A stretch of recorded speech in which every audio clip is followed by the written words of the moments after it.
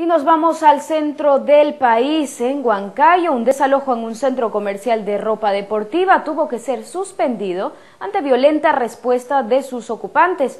Los detalles a continuación.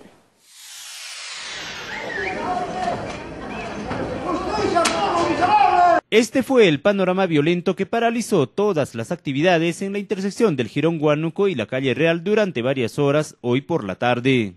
Los más de 40 supuestos propietarios que desarrollan sus habituales labores en la industria de la confección respondían de esta manera el intento de lanzamiento dispuesto por un juzgado penal de turno.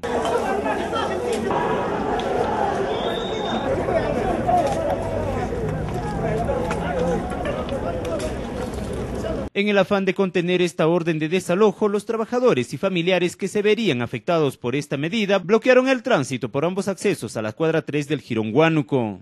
Ellos quemaron varios enseres y hasta algunos maniquís. Se trataba de poner una férrea defensa y así hacer retroceder un desalojo más que ocurre casi cotidianamente en nuestro medio. Nosotros somos propietarios, somos dueños absolutos de este centro comercial.